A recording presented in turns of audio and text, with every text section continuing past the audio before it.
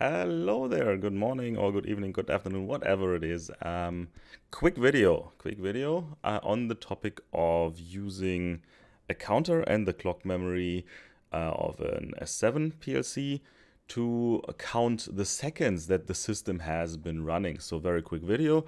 Uh, therefore, I create actually a new PLC. You could take any, every PLC has the um, clock memory and every PLC can work with the CU, uh, CU with the count up block.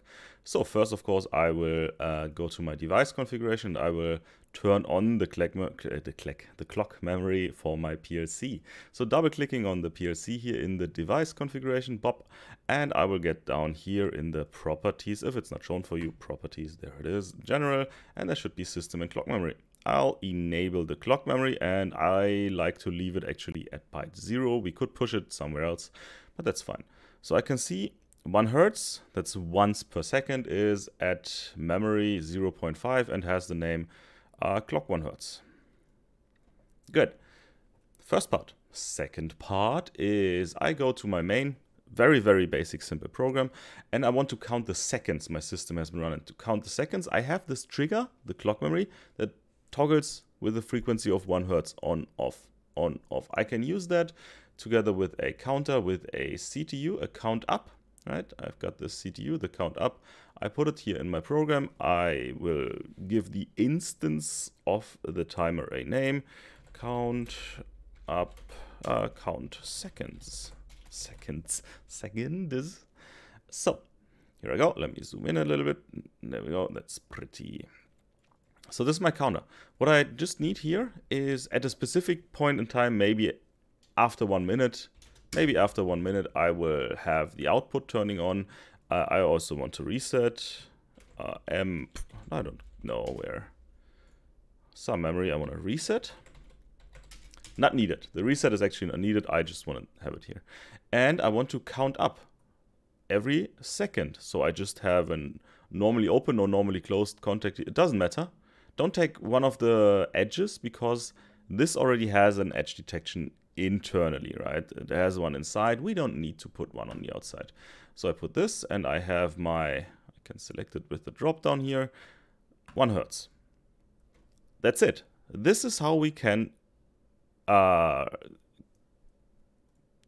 what is it? This is how we can ca count the amount of seconds that we already had. So let's check this. I am downloading this into my little um, simulation I've got running here on the side, this one.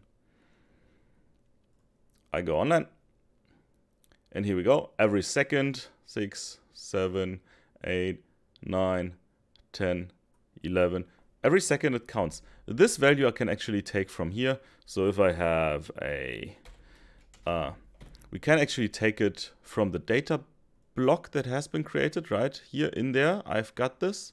Or I can just make another one, uh, memory word 50 or whatsoever rename and this is seconds gone by by seconds gone by like this. Mm, can download again and that's it. I just added this and this I can use wherever in my program wherever I want right? This is how I can count the seconds. Should work. If it doesn't work it might be that your clock doesn't really tick. It might also be that your reset is permanently triggered, like this, right? Could be. Or it could be, in a lot of cases, in a lot of cases, you have used your counter function twice. So if I take this and use it a second time here, right, you see this. This will most times, not right now because I use the same, uh, let's take uh, maybe 5 hertz.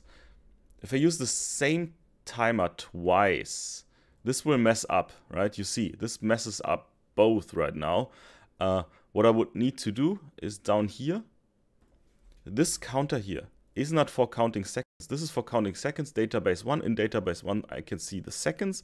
Then here I want to count with 5 hertz. I don't want to recalculate this. What is it? 5 hertz. That's 200 milliseconds. There I go. Now I do have one counter for the seconds. Oh, let me reset this one.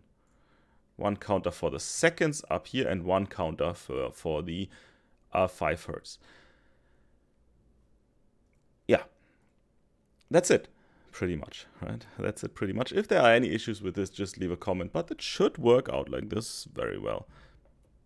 Thanks for watching and I'll see you next time. If you've got any questions, just leave them below. Uh, ring the bell. That's how YouTubers say it nowadays. Ring the bell, subscribe, and I'll see you next time around. Bye-bye.